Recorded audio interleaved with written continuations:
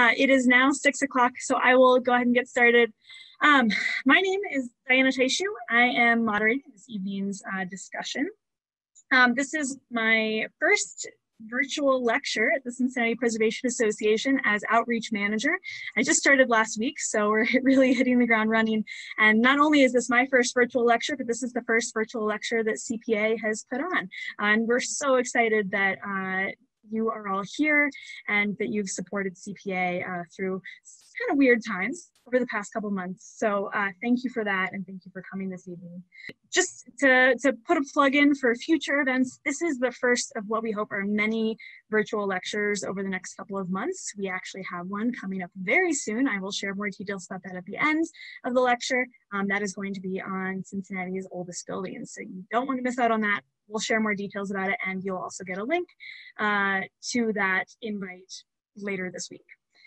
Uh, Paul Muller is our executive director here at the Cincinnati Preservation Association. He is also uh, the principal of Muller and has been an architect for a long time, longer than he's been with CPA. Uh, and so tonight he's going to be putting on that architect hat and walking us through the history of Isaiah Rogers' work, the places he connected with, the people, and the stories um, that are all connected with with who Isaiah Rogers was. So we're going to learn a lot tonight, um, and I'm going to hand things over to you, Paul. Uh, welcome, everybody. It is really great to see you, if, even if I'm only seeing all of your names. I'm realizing how much I'm going to relish being back at uh, events with people when this is over. I'm sure we all share that. Um, thanks to Diane for uh, setting this up. Um, I am just going to start right in and hopefully we do more of these in the future. Okay, so we're going to talk about Isaiah Rogers. Um, he's a really interesting figure uh, nationally and particularly here in Cincinnati. His career intertwined with Cincinnati's emergence as a major American city uh, in an era that Roger had a significant impact on. Uh, he was, uh, you know, he's of Cincinnati, but he's also uh, very important nationally. And uh, we'll see that as we follow his career through here. Um, Okay, we've got a lot of material tonight, and I have to say I drew a lot of it from James F. O'Gorman's wonderful book, Isaiah Rogers, uh, Architectural Practice in Antebellum uh, America. Um, he wrote it in 2015. He based it on the rediscovered diaries of Isaiah Rogers. Rogers kept meticulous notes, everything he did, and there were volumes and volumes of these, which uh, became really important. Uh, Denny Myers found these and they were able to identify many buildings by Rogers that uh, people just didn't know were his. I highly recommend the book. I think everybody should buy it. That way my drawing from it so uh, relentlessly will be uh, compensated for. Um, so Rogers was born in Marshfield, Massachusetts, and his career spanned basically 1824 to his death in 1869. This means that he was rising to prominence at a time when the practice of architecture was just emerging as a recognized profession. There really weren't many professional architects at the time.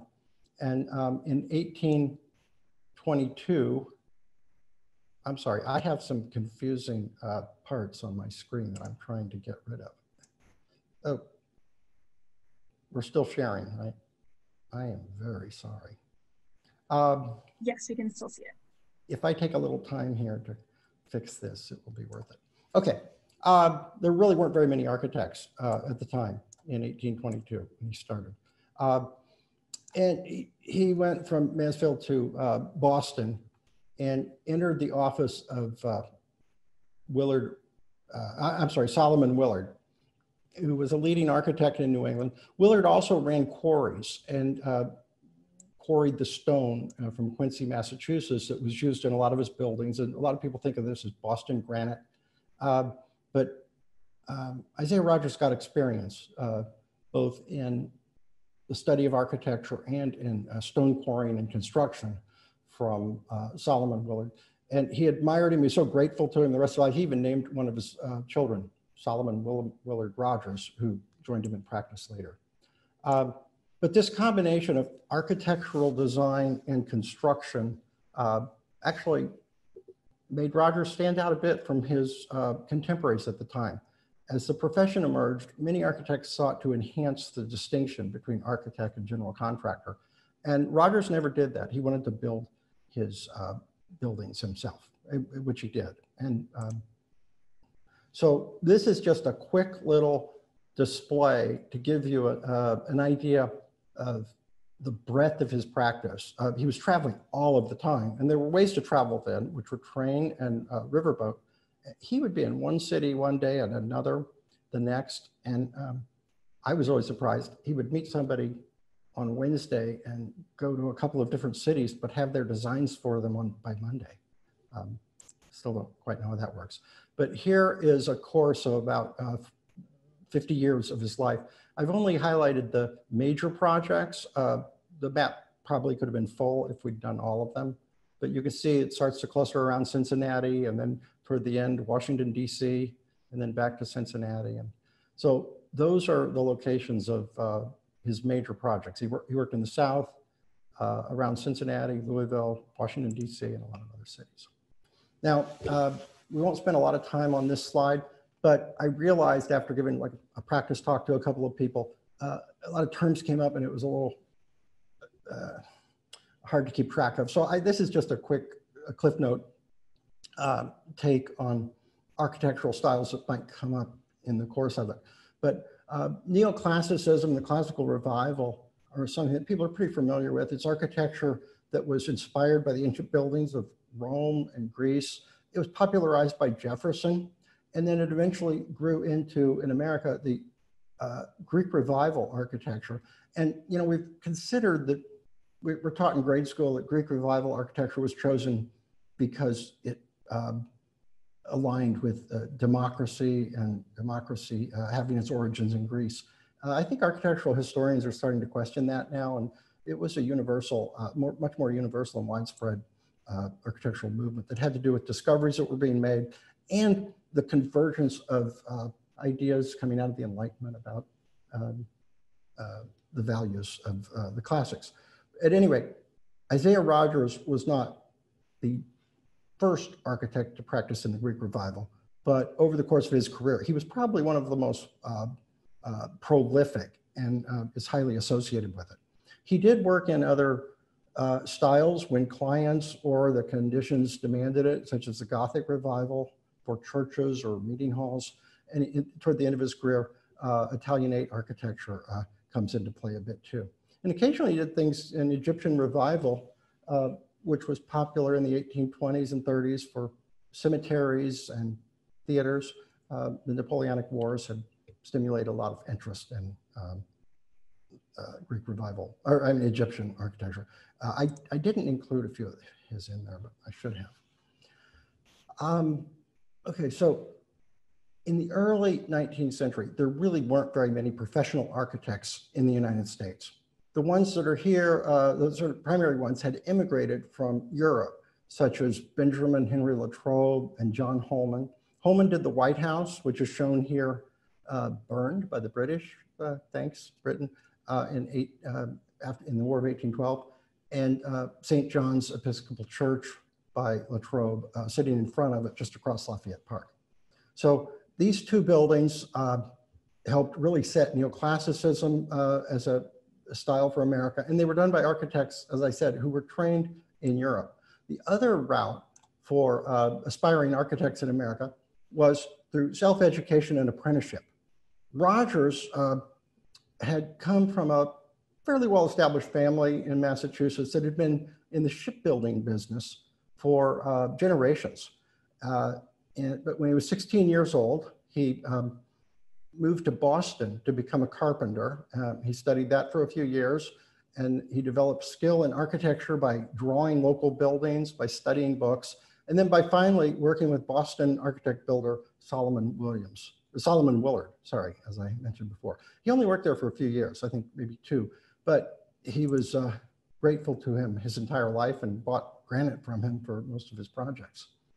Um, one of the books that Rogers would have had available to him to study was uh, The Antiquities of Athens. It was published in 1762 by Stuart and Revett.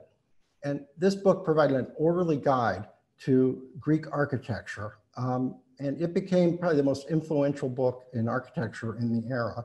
Its illustrations and demarcations of the classical order contributed immensely to the emergence of neoclassicism and later Greek revival.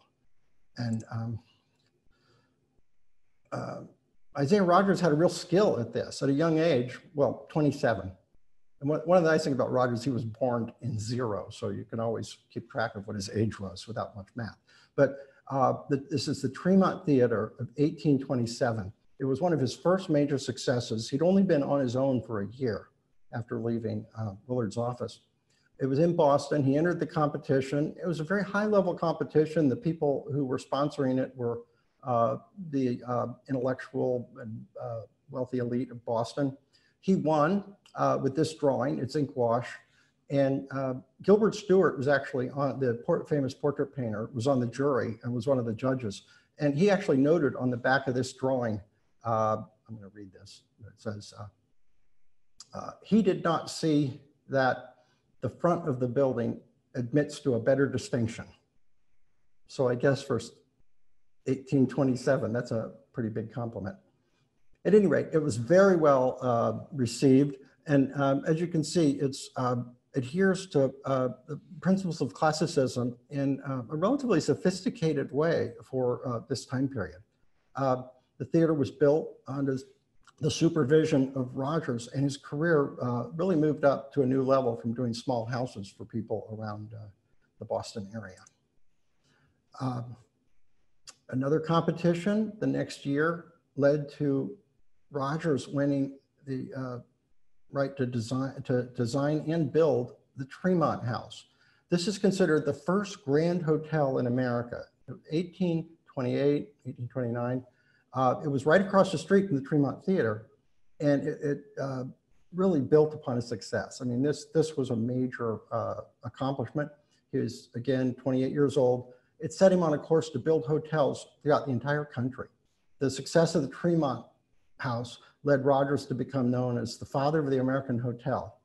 And it set a new standard for hotels uh, with many firsts, such as indoor plumbing, and uh, it had an enormous stained glass rotunda that was supported by 12 ionic columns, had gas lighting, call bells, fireproofing. Some of these had existed in other hotels, but all of them uh, were advanced and some were actual innovations at the Tremont House. Uh, it's kind of interesting. It makes me think about the Terrace Plaza. It, Tremont House was considered the first modern hotel. Well, uh, and it introduced all of these innovations. Well, you know, we have the uh, Terrace Plaza as the first modest hotel of another iteration with uh, those kind of innovations too. But uh, the owner of the Tremont, William Elliott, uh, published a monograph which described it in great detail. It was an entire book just on the hotel and it made Rogers famous across the nation. It was the first architectural monograph, which became a type of publication architects would use to promote themselves and get commissions. Uh, Rogers was grateful to Elliott for the rest of his life and even said near the end that it all, it all came from Elliott, having promoted him so relentlessly. Um, from an architectural standpoint, the Doric simplicity uh, on this building worked really well with the hard New England granite. It's a case where the building material and the architectural style work in harmony with each other. And this isn't an accident, it's something Roger sought out his entire career, an integration of material, function, and style. Uh, he was, uh, even though he's working in these styles, whenever he criticized anyone else's work, it would be for the function or the construction or the layout. Uh, he never really openly discuss stylistic concerns, but he handled them very well in his own work. Uh, it wasn't that he wasn't skilled at it. Um, but anyway, the Doric portico has 37 foot tall columns that are single blocks of granite. Uh, it was very difficult to move them from the quarry, and even that became a design uh, problem that had to be solved.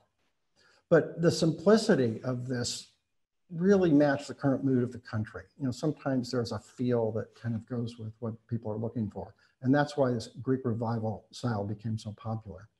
Um, and uh, it's really hiding how complex the hotel is and the complex location because the streets are not in a grid at, the, at this location. And uh, we'll see in a minute what um, Isaiah Rogers did to uh, deal with that.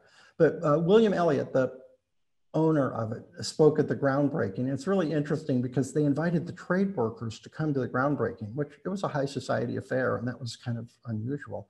But and I'm not going to subject you to reading what he said, but it's fun to read it in the language of the time. But he spoke uh, that his hope was that the benefits that were going to come from this wonderful creation, this work of art, would uh, imbue to the workers who had made it. And uh, for 1828, uh, that was a very uh, unusual progressive idea. Here we are with the plan of the hotel. And if you're like I am, I mean, I think you might be surprised that that building, uh, you know, ends up having this plan. But again, it's uh, Isaiah Rogers' skill as an architect to achieve that simplicity with such a complex program and a complex site. Um, the two different grids are resolved, and um, I'm going to show you a couple of ways he does that. But um, let's see if I, we have these columns on the front, which are really the only ornament running across the uh, main facade of the building. And then they lead to this rotunda, which was covered with a stained glass dome that was uh, really advanced uh, for its time to be able to have such a large public space. And uh, going in there must have been really amazing. And then we see at the ends of the building these two shallow bays, and we're going to keep seeing that in Rogers' work throughout. And it lands on Dayton Street in the uh, George Hatch House that we'll have a little bit later in the talk. But I just wanted to point them out here as a, um, an early use of them. But uh, Rogers is dealing with the uh, central axis going up the grand staircase and then the cross axis. Very straightforward, simple planning devices. But then he has to adapt that to this skewed grid. And he does it in two different ways in this uh, design. As you see over in the hotel room section, it's done in a way that makes a very private connection between the public spaces and the more private room areas. And he gets one of his uh, signature staircases as part of this swirl, spatial swirl that makes the knuckle at the point.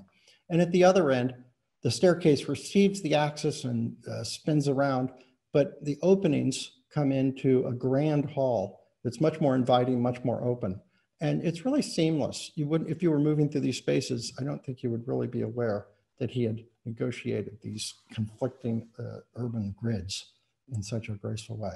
And just to um, make the point even more, because there was no one to stop me, I put these in here to show how he gets the transition on that side, sort of closing it off, making it private, and the other side, which is inviting and much more public. Um, planning these can be very hard. You end up with funny little spaces. Um, he did pretty well in uh, making all the spaces work to his purpose. And then we didn't have photography, but fortunately we had the artist, Harry Philip, who painted the Tremont House and the Tremont Theater. I'm not sure I mentioned they were across the street from each other. But uh, talk about a start to your career. Two of the most important buildings in Boston to go up during this era.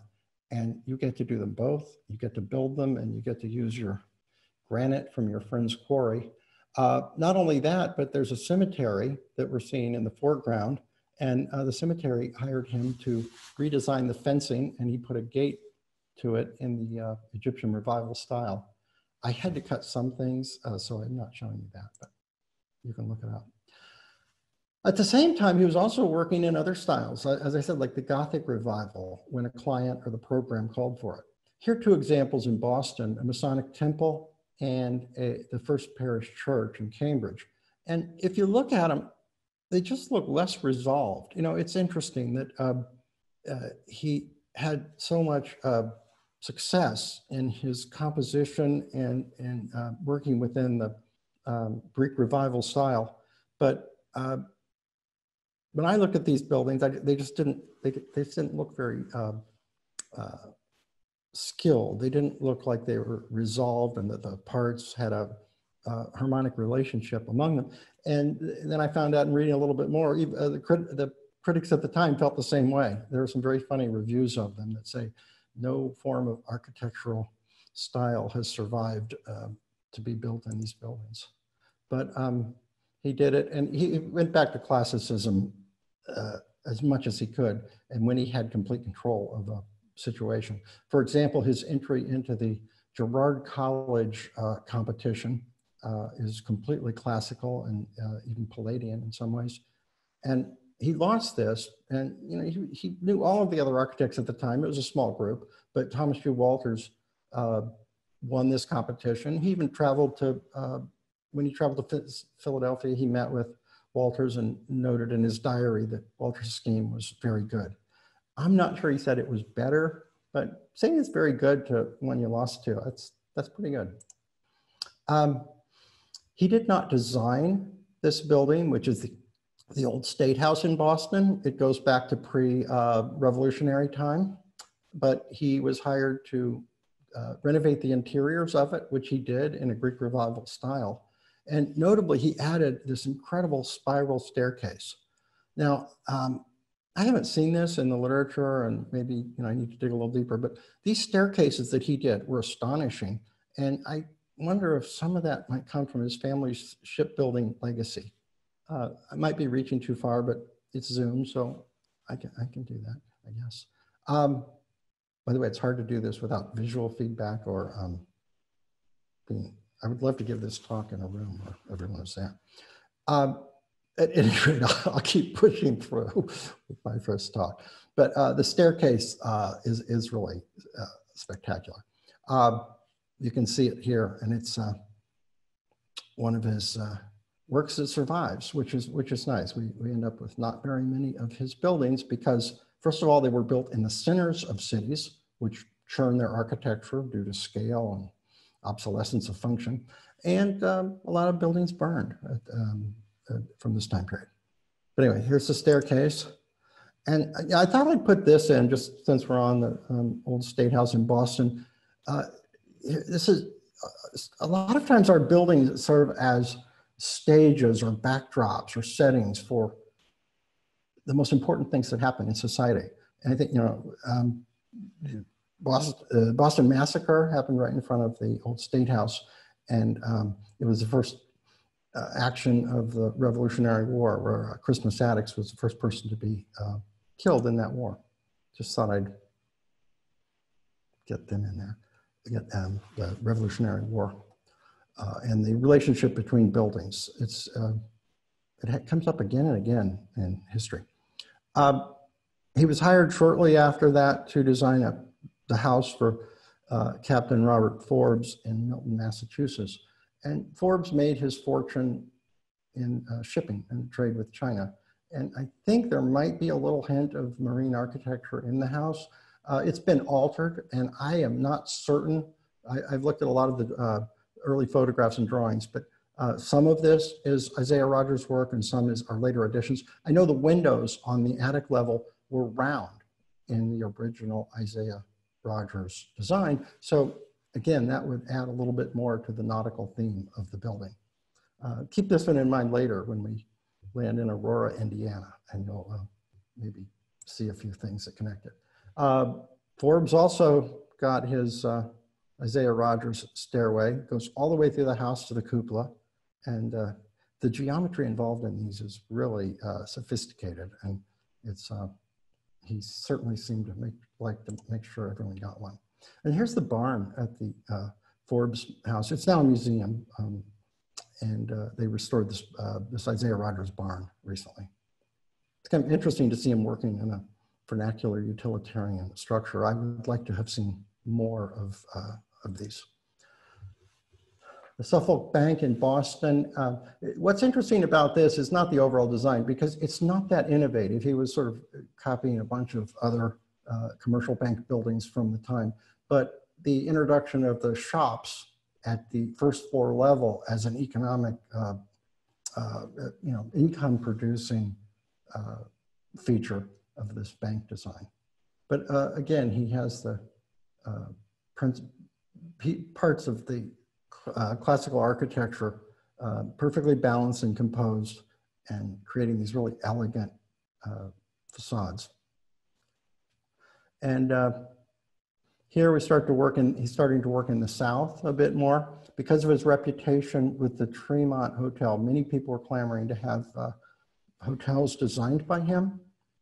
Uh, this is uh, an example where we see that bayed, shallow bay uh, architecture. Here they're double bays facing the street.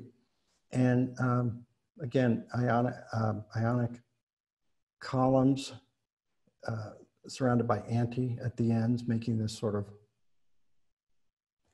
almost cinematographic display. If you go back to, the, you could you could see he's working on it here too, where uh, you have the columns and the antae or the pilasters at the edges forming this scene.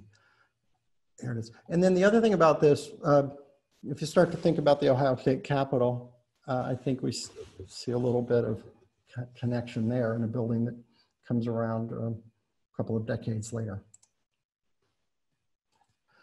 Okay, uh, well, so this is a good time to mention sort of a compromising aspect of the work of um, Rogers. He was considered a really principled man, a good person with good intentions towards everyone. He was upstanding. His diaries were filled with ethical dilemmas and observations and kindness. I mean, he really seemed like a genuinely kind person.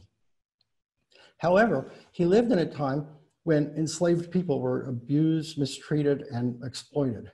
And his work in the South almost certainly relied upon the labor of enslaved people to build it. And since he was both an architect and a builder, he benefited uh, from this. And uh, there's no indication that he was a slave owner, but I'm sure his practice profited from enforced labor. Um, his work on a rice mill for a plantation owner in Virginia uh, caught the attention of Theodore Weld uh, in his landmark exposition on the harsh realities of slavery. I don't know if you know this book or not, but um, I came across it when we were trying to save uh, the church in Walnut Hills that was connected to the Lane Theological Seminary. Uh, Theodore Weld was the student that organized a lot of that. And then later in life, with his um, wife uh, and her sister, the Grimke sisters, uh, they created this book called Slavery, American Slavery as It Is, a testimony of a thousand witnesses. And what they did is they just took newspaper articles from Southern newspapers, which actually kind of put out what was happening between uh, plantation owners and slaves in a horrific uh, um, exposition. I mean, I, I have trouble reading this book, and it, it's uh, very common. If you think you know what slavery treatment was like, you don't. And they didn't editorialize about it other than selecting the passages, but um, they're, you know, by their own voice to give Northern people uh, an idea of what was going on.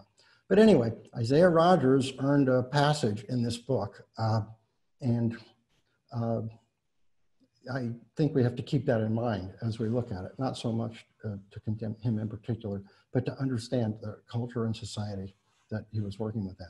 And I should add that his son and son-in-law were once run out of Louisville by an angry mob of people who were shouting, damn abolitionists. So it's not so simple and we're 180 years out. But you know, as an organization, we've committed to present a more complete story of how we got here, how we got where we are today. And I think it's important to acknowledge the roots of the injustice that you know we see today when we come across it in our history.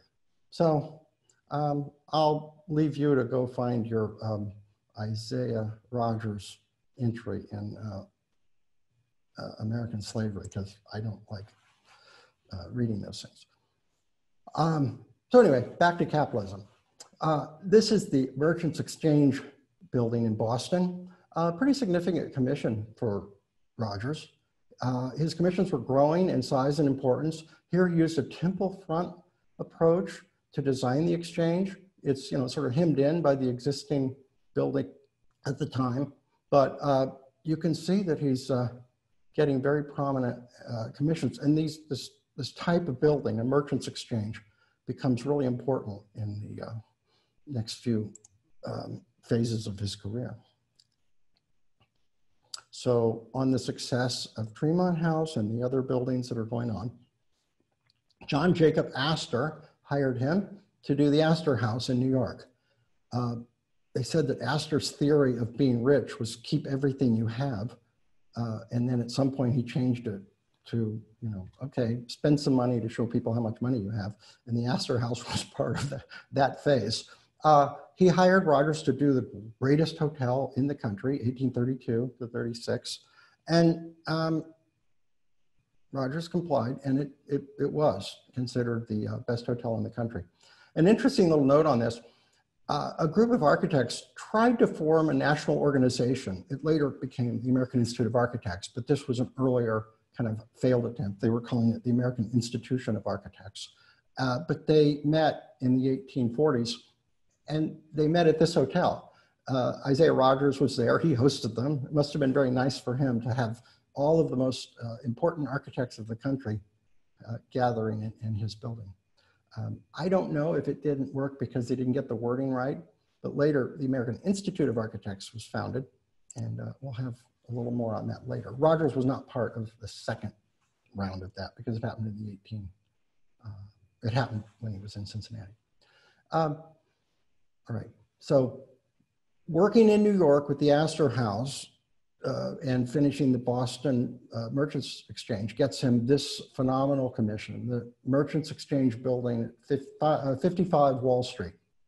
It was probably one of the major commissions of his career and uh, all uh, Quincy granite, which probably made uh, Solomon Willard happy, but these it was designed in the Greek Revival style with a colonnade of 12 massive granite Ionic columns, all carved from single blocks of stone.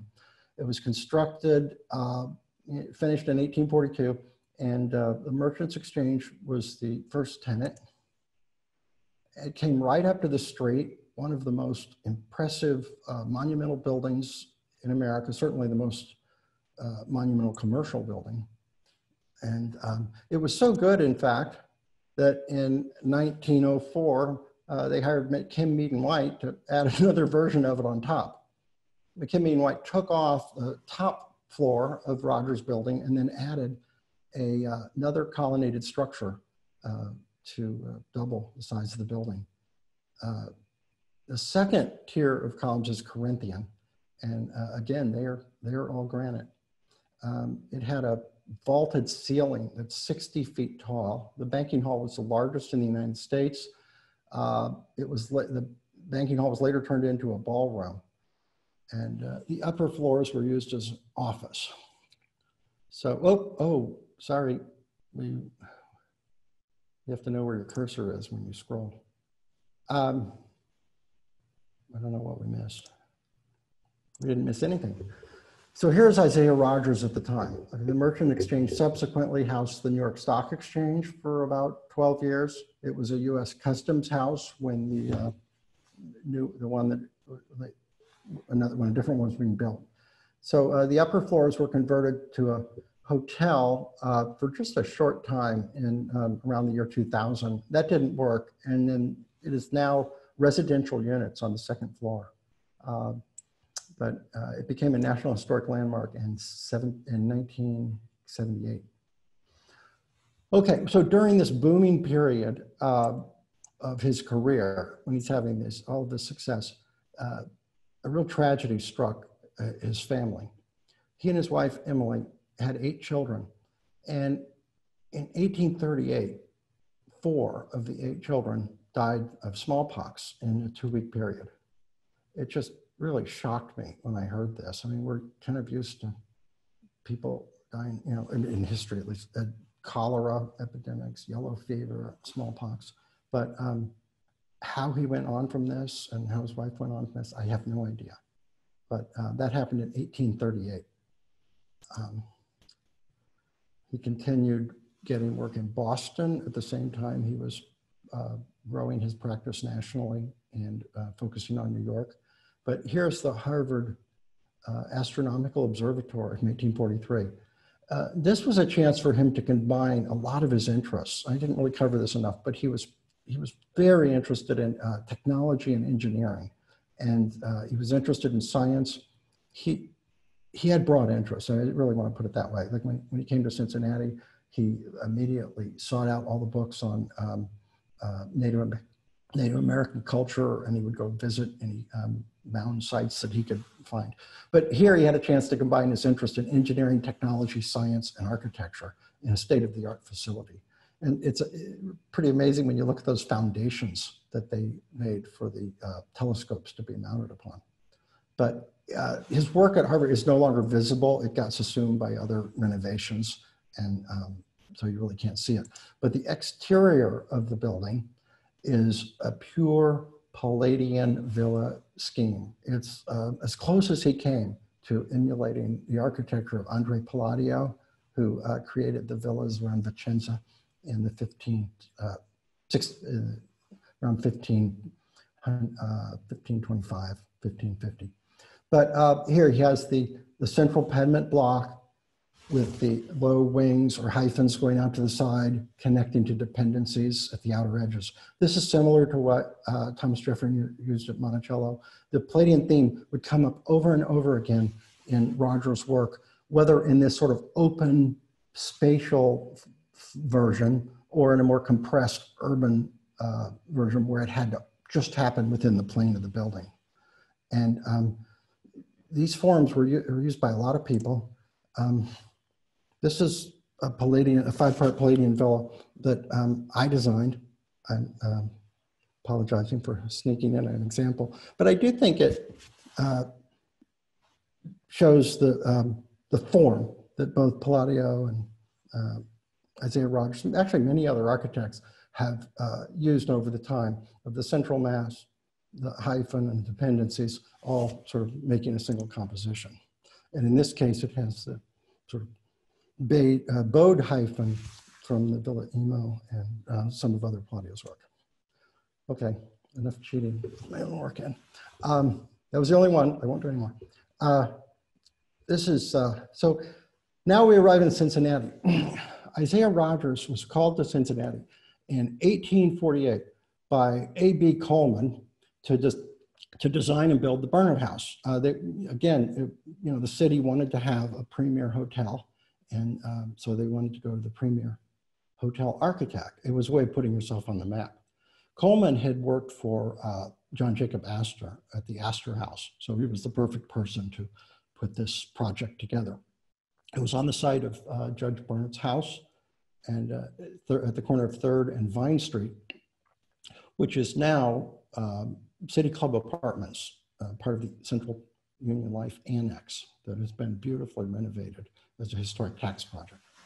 Um, but anyway, the city was trying to, it was undergoing this profound transformation from a frontier outpost to a city of commerce and manufacturing and culture.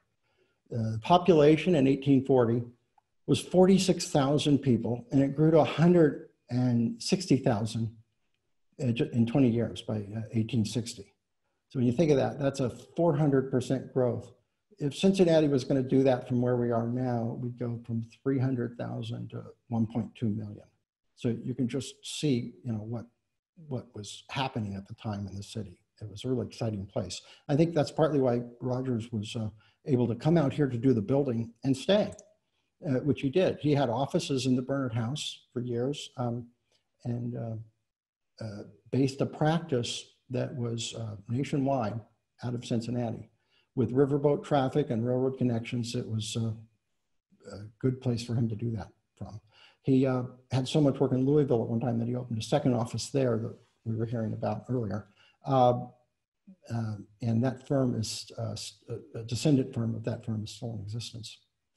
But anyway, the Burnet House was, as I said, it was on 3rd and Vine, and it became one of the premier hotels in mid 19th century America. It faced the river, it was raised up and you see that it had shops at the ground level and all the major functions were um, up at the next level. Um, so it really marked the emergence of Cincinnati as a national city. Although we ranked sixth in population in 1948, we still carried the baggage of being a frontier outpost. So the national acclaim it had really helped change, uh, change that and elevate Cincinnati into the ranks of sort of so-called cultured cities. Um, it was uh, it was demolished in 1926 for um, the Central Trust Annex. Uh, we'll come back to that in a second. but they used it as a place for all the civic celebrations. Here they're celebrating the completion of the railroad, which uh, since the city of Cincinnati still owns, I think. Um, and here you can see it later in the 19th century. We know this is after um, um, you can see H.H. H. Richardson's building in the background here, the Chamber of Commerce building, which was done in the 1890s, and uh, the hotel in the, in the front. So we get to see a little bit of Richardsonian Romanesque sort of overpowering uh, the Greek revival buildings of a simpler era. There's a lot more manifest destiny in the Richardsonian ones. And the interior of the Burnet House uh, Hotel, uh, you can see A.B. Coleman, uh, the proprietor on the uh, menu. But uh, take a look at this mirror over here. These are very big, by the way. I know because um, one of the mirrors from the Burnet House, and not that one exactly because it, does, it has a different top, but one of those mirrors was moved to a music hall after uh, the Burnet House was uh, torn down. And it stayed in, in music hall until the recent renovations when the Friends of Music Hall and CPA helped get the mirror back to the Central Trust Annex, back onto the site of the original hotel with a very nice plaque marking, uh, you know, what it is. But uh, they're really heavy. The owners of the hotel were very happy to get it, even though moving it is very, very difficult. Uh, so when they tore the hotel down, you know, it was past its prime. It was still a great building, but um, these things go out of style, and uh, they uh, they had a, a, big party to celebrate the demolition. Uh, there was a white marble staircase that um, uh, the owner of the Central Trust um, insurance company took a hammer to as the highlight of the party. They had guests dressed up like some of the famous hotel guests, like uh, Abraham Lincoln and Grant. Jenny Lind and P.T. Barnum were regular guests at the hotel. Um, okay, so uh, I said that Isaiah Rogers had a whole um, range of interests. And one of them that stayed with him his entire life, and especially picked up near the end of his life, was an interest in engineering and bridges. First of all, he did not like suspension bridges. Uh, he had seen a couple of them collapse and uh, thought the whole idea was ludicrous. And he, there's no record of him meeting Roebling, even though he was in town at the time of uh, Roebling's work for our bridge. And he was certainly in New York uh, uh, later when uh, Roebling was doing the Brooklyn Bridge. But uh, he created, uh, Rogers created this incredible lattice bridge. Um, and um, he got a patent for it. And they found out sort of recently that he actually constructed two of them. One was a 70 foot span, 10 feet in diameter, of intersecting helixes at an exhibition in Boston in, in 1841. And it was a hit of the fair. 80,000 people went to it. And uh, he won the gold medal, and it, you know everybody was really excited about it. And uh, then a year later, he actually built one in, in, in uh, Cincinnati at the Burnet House, connecting rooms, acro- connecting across the courtyard. I've never seen any pictures of that. I couldn't find any. But uh, anyway, it, it was a, a, very interesting bridge design, uh, really innovative. And uh, in 19, in the 1980 or 2010, um, Bernard Tschumi did this one in Paris, uh, based on the same principles of, of Rogers tubular truss bridge. Um, now I'm going to kind of go quickly through this one. It's the Hamilton County Courthouse. And you know, we've had a lot of them. Okay, this is number four. And now I think we're on number six. But uh, there was a competition to design the Hamilton County Courthouse, and uh, Rogers entered the competition. He didn't win. And I, to tell you the truth, I really, could, uh, at this point, can't tell you quite what happened. But eventually it was done according to his design, but Walter and Wilson uh, won the competition to build the building, I think to uh, Isaiah Rogers Designs. Because if you look at that design and remember a few things about it, you can forget the dome. The dome did not get built. But uh, if it had, I mean, what a magnificent county courthouse. I can't believe, I mean, what they were thinking was amazing. Um, but at any rate, uh, Rogers was trying to give them, you know, some uh, amazing uh, stature here. But the one that got built was very similar to uh, Rogers' design, and he ended up being the one to finish it. Now, with these competitions, there's a pattern here where somebody wins, but it wasn't their design, and so somebody else has to build it, and then they keep firing them, and then things happen over decades, and then the original people come back in. But in this case, Rogers did finish the construction of it, and if we go back to his competition entry, uh, it really looks very much like his design was the one that was built. So I'll pick up the pace here a little. I'm, oh, 649. Okay. Diane, am I missing like faint, you know, thumbs up or thumbs down or should I take a breath to see? Is my spe is my speaker on? We can all we can all hear you. And this has been going really well. I don't know. Okay, good. I just wanted to make sure I hadn't like come unplugged. Nope, you're, you're good. Okay, I'll pick up the pace. Okay, so uh, that county courthouse that Isaiah Rogers designed uh, was the one that was burned in the 1884 riot. Uh, people weren't happy with a, uh, a verdict of uh, a murder case, and they rioted. They burned the courthouse down, and um, let's see. And here we are a few days after. It went on for three days. Uh, a lot of people were killed. State uh, militia and National Guard were called in. Here they are defending the sort of ruins of the building. And then this is a committee inspecting the ruins shortly thereafter. And I, you just, I can't get over, you know, their face and what they, you know, they just, the building wasn't really very old and uh, it was supposed to be fireproof. And you can see the result there. Um, again, I said these buildings, important public buildings end up being backdrops and stage for moments of uh, you know, uh, turmoil and, and uh, social change.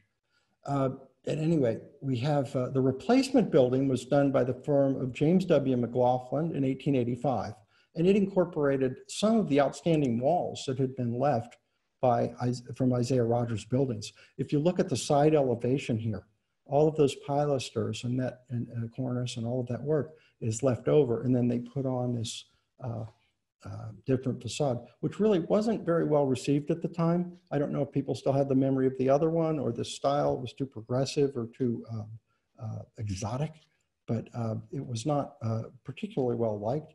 And in 1918, that building was taken down and uh, the one that was currently on site was built by Rankin, Kellogg, and Crane. Okay, so, and you know, it sort of harkens back a little bit to Rogers' design on that. Rogers and his son did these amazing uh, buildings at uh, Longview Asylum. Uh, there was a statewide program of trying to improve the conditions in the asylums, and out in Carthage. These were built. Uh, they were uh, thought, you know, supposed to be very healthy and scientifically worked out. But again, you know, they became overpopulated, underfunded, and uh, conditions became de degenerated very well. Plus, it was on the Mill Creek, which was not um, very healthy place for it to be. So for a variety of reasons, they didn't achieve what they set out to. But Rogers and his son uh, did these toward the end of his career, coming up to 1860. And uh, the Ohio uh, state capitol competition is another one of these uh, sort of messes that resulted in a very nice building. But uh, the competition itself is a disaster. The, you could probably do several lectures on that. And I'm not from Ohio. You probably all learned the story of it in high school or grade school or something. I'm from Indiana. So what I learned in grade school was that uh, the Indianapolis 500 has 200 laps. But uh, anyway, would have been good to learn the story of the Ohio State Capitol. Uh, Isaiah Rogers entered the competition in 1838. He didn't win. Oh, oh, oh, oh. He did not win. Uh, he didn't come in the top three. Uh, but by the end of the project in 1861, he was the supervising architect and some of his design elements found their way in. But uh, the state credits about four different firms uh, with the architecture of this. And um, if you want to really go back to sort of the DNA of the architecture, you have to uh, go back to the French architect and theorist Claude Nicolas Ledoux, who um, created this design in 1763. And it, it became so well known and admired by architects at the time as uh, sort of this really powerful rendition of classicism uh, that a lot of the entries had it as their sort of starting point. Here is the winning entry by Henry Waller, Walter, and uh, second place, Thomas, uh, Martin Thomas. So uh, you see various elements of Ledoux's uh, building in that and in many of the other entries. But uh, so what happened is Walter won, they gave him the commission, but said, we're not sure about your design. The design committee went to New York to talk to A.J. Davis, who had been in the competition, didn't win. Davis and Town did many of the uh, state capitals around the country. They ended up not getting this one, but they asked him his opinion, and there was a third place entry that uh, Davis uh, said they should consider. And uh, the third place was by the artist, uh, Hudson River School artist Thomas Cole. He entered an architectural rendering and came in third. Cole had had a nephew who worked for Isaiah Rogers. He wasn't working for him at the time. And uh, Cole kind of advertised himself as artist architect. Uh, so anyway, his design uh, later ended up being the one that most uh, completely influenced what Walter had to build. So Walter won, but he has to build Cole's plan. And Cole's plan is uh, hinted at in Cole's great painting, The Architect's Dream of 1840. This is sort of two years after the competition. Uh, you can see there are hints of the drum and the uh, arcade uh, that are in the Ohio Capitol. There's a whole nother angle to this story, which it was commissioned by Eli Town, who was Davis's partner. And he didn't accept it because he said it was just architecture, it wasn't a painting. And uh, I don't know if having lost a call uh, affected whether he accepted the commission of the painting or not. Uh, so I Rogers finished the Capitol. He was supervising architect. I don't think it was that rewarding for him. Uh, he did a lot to the interiors and he did a little to the dome. He was probably hired as the sort of conservative, knows how to get it done uh, on time and on budget at this point in his career. Uh, and um, he, he finished the work. Uh, anyway, um, James O'Gorman picks out a really great quote from the diaries and he, you know, sort of saying, well, we're not sure what, what uh, Rogers thought about the building when he was done, but he said, he notes in his diary on a trip to Columbus after it's finished, walked over to the Capitol, saw it. That's all. So uh, it's, it's possible it wasn't a good experience. He could have been referring to his whole experience with it though. Okay, so now we're uh, becoming much more concrete here. This is the George Hatch House on Dayton Street. Hatch was mayor of the city. He was a land uh, investor. And he hired Rogers to do a house for him. It was very expensive at the time. I think it was called Hatch's Folly. Um, but it's really a magnificent work. And uh, that's a picture I took a few days ago. Um, and um, it has, the again, the double bayed uh, architecture. And it has pieces from um, the, the book by Stuart and Revett that were explicitly drawn from the Temple of the Winds, I'll show you that in a second. But um, this building set the stage for Dayton Street to become Millionaires Row. It was kind of on the outskirts at the time, uh, 18, 1850. So I put those dates up there so I remember them. But um, anyway, uh, so it, it, has a little bit of Italianate architecture coming into it. The plan's symmetrical, but uh, the limestone facade has this wonderful sense of motion from the bowed bays and they're integrated with a central porch and it's more compressed. Everything is really coming together here in a way that has a lot more intensity than some of the earlier examples like such as the Tremont House or uh, Richmond Merchants Exchange, which also had the double bays, but they weren't, they weren't engaged as part of a complete ensemble. Uh, the central section here really reinforces the facade's movement with that bayed entrance porch and it's you know, kind of sparse ornamentation, sparse design. It's really letting the forms be the um, architectural statement. Um, okay, so the house was documented by the Historic American Building Survey, which by the way is what Denny Myers ran for many years. Denny Myers was with the um, uh, Secretary of Interior's office. He was uh, in charge of HABS. He's the one that discovered Isaiah Rogers' diaries and he worked in museums in Ohio um, and has a lot of really good articles that I drew from on this. But here are the drawings and the floor plans. Again, uh, the stair here is a little different than uh, Rogers' earlier stairs. This one's squared, but it is, again, a major feature of the house. The interiors, and uh, again, these are the Historic American Building Survey photographs. And if you're ever working on a historic structure and you're lucky enough to have had um, it surveyed, they're available in the Library of Congress and they're really good, very high quality. And they record buildings at a time before uh, they might have been renovated or damaged. Again, I, I, really like this one because you can see the interaction of those elements that are making the, uh, the bays and then the, um, uh, the ironwork was designed by Rogers and it's been replicated. Uh, a lot of it was missing, but I think what is there now is uh, very good replications of it. But I just want to show you this little front porch. It, you know, it looks like it's bowing out, but it's actually a hex, hexagonal space behind it. It's sort of concealed and really clever planning. Um, and again, this comes from uh, Stuart and Revett, uh, those books that architects would go to. And you can see how they could do it now when you look at what the drawings are. You know, they're very, uh, they're beautiful the way they have a plan, section, profile, elevation, everything you need. There's so much information in these. Um, but uh, let's see. So their, their description of the Temple of the Winds, only one row of acanthus leaves, above which is another row of palm leaves. There are no volutes, and the abacus is square rather than concave. So, so if you look at that in the corner and you um, look at uh, the, the square version that um, Rogers did. This is exactly where he's getting that work. Uh, HABS did the entire street.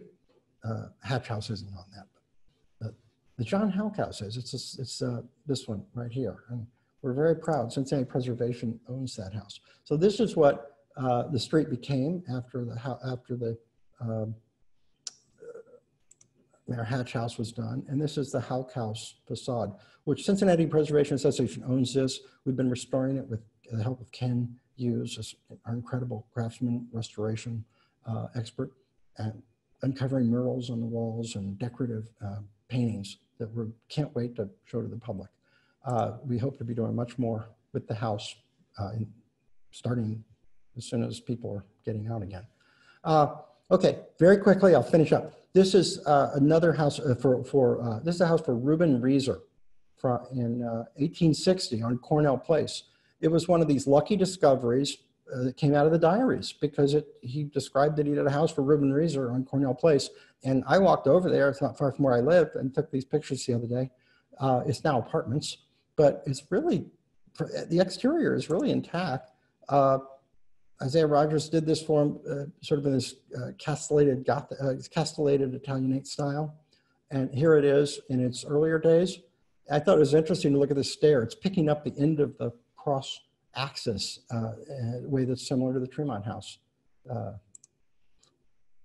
and then out in Aurora, Indiana, the house, uh, which is called Hillforest, it's the Thomas Gaff's house, was built by Isaiah Rogers in 1855. Uh, the diary pages for this are hilarious. He takes the steamboat out, pays 50 cents, I think, for the ride, meets Mr. Gaff. They go look at the site. He likes it picks some wildflowers. Good. Anyway, goes away, and two days later, he sends the plans back to Gaff for the house. Now, those aren't the complete everything plans, but still. Um, it's a, it, Gaff made his money with uh, distilleries and riverboat transportation. So I think uh, there's a little bit, probably the best intact uh, Isaiah Rogers stair is at the house. And the house itself is one of the most intact Isaiah Rogers properties in the country. It's a National Historic Landmark. It's very well maintained, managed, and interpreted by the uh, Hillforest Historical Foundation. And some of their members are here tonight. Uh, we might hear from them. But uh, it's open to the public uh, when they're not pandemics, but um, we will hear about that. Anyway, here's the house. So very little of his work remains today, you know, and um, it highlights to me the importance of preservation's role, ensuring that architecture from the past is maintained and protected and utilized. We're really lucky to have a few of the remaining works of Isaiah Rogers, and we're even more lucky that some of them are cared for by groups like the Hillforest Historical Foundation. So Rogers gets to Washington in 1862. I'm not going to tell you anything about this because nothing really came of it. I mean, Salmon Chase appointed him. He was architect of the Treasury, and um, uh, all of his work has been subsumed by other work. He was finishing uh, buildings, and um, and he also designed the Robert Bowler House in where Mount Storm Park is. Adolf Strauch had done the amazing landscape gardens there, and Rogers did the house. Uh, I think he renovated a small frame house that was there. Um, but anyway, this became somewhat of a controversy in 1812 when the family gave it to the park board to become a park and vandals would get into the house and um, apparently teenagers were having trice, whatever those are.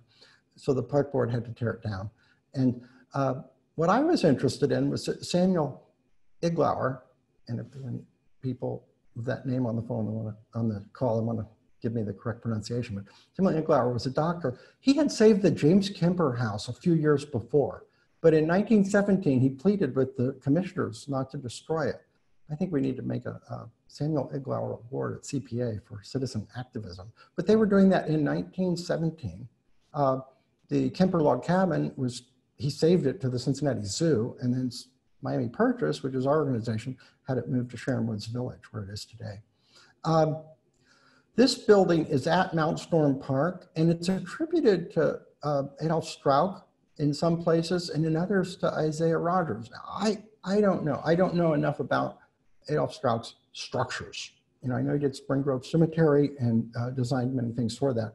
Uh, but when I look at some of Isaiah Rogers' Corinthian column detailing, I really wonder if uh, the temple uh, isn't related to that. Um, so I'm just going to keep going here. I, I, wanted a picture of it and I didn't.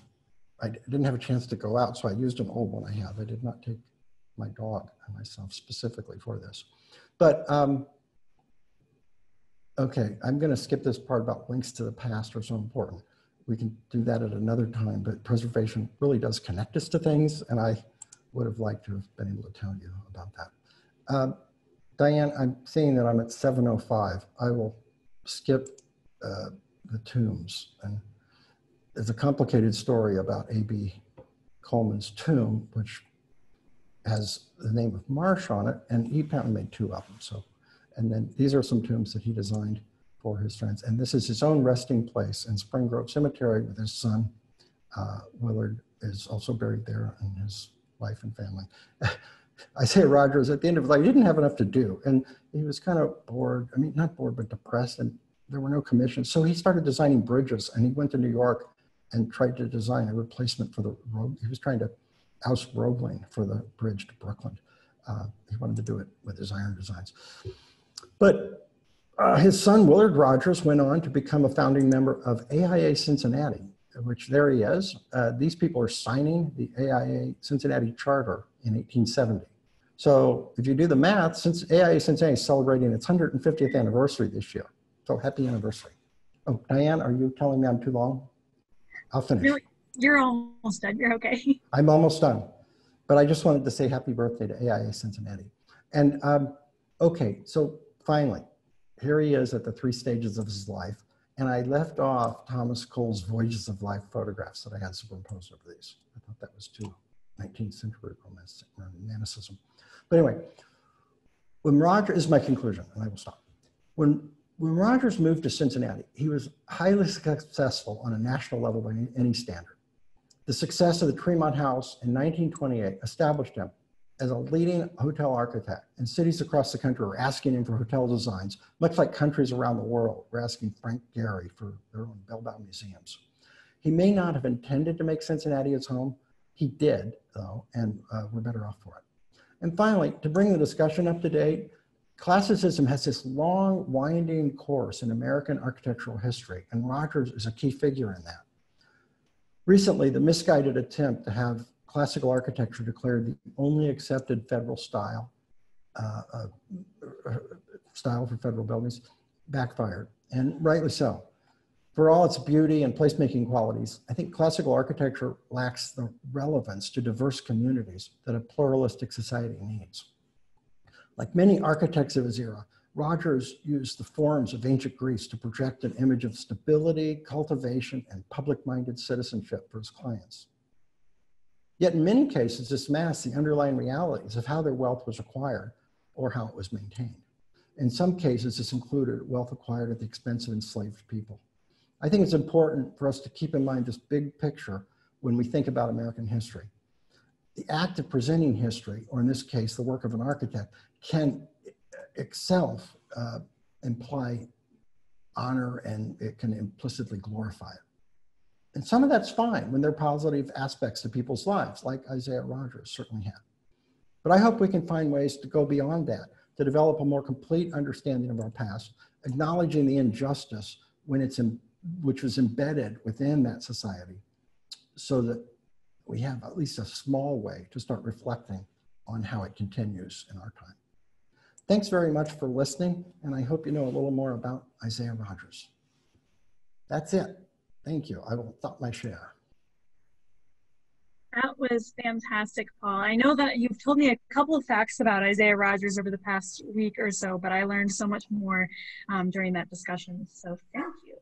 Um, we did have a, quite a few questions come through the chat, uh, and I know, folks, we still have quite a few of our uh, our participants here. Uh, if you have any questions, feel free to keep throwing them in there. I have a list of the questions that have come through so far, so I can get to the newer questions uh, towards the end. Um, one of the first questions was, is the, the Tremont House still standing? No.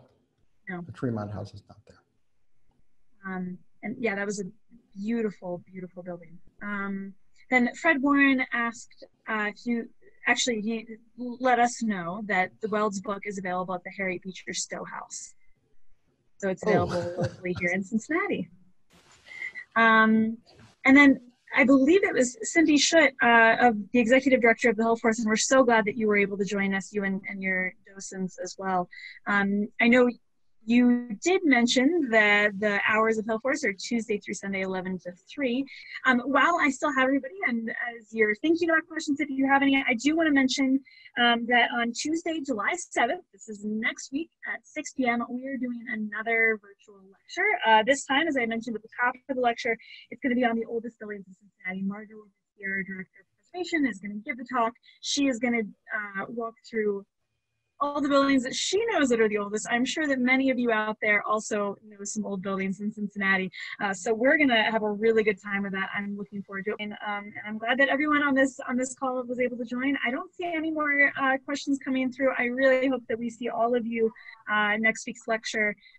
We'll be sending out a survey after this uh, call, and sometime it'll probably be tomorrow, um, with a request for any topics that you are interested in uh, learning about. As we look at these virtual lectures, we really want to find topics that everybody um, finds interesting and we want to learn together. So uh, look, look out for that, and uh, we will see you all soon. Thank you for coming.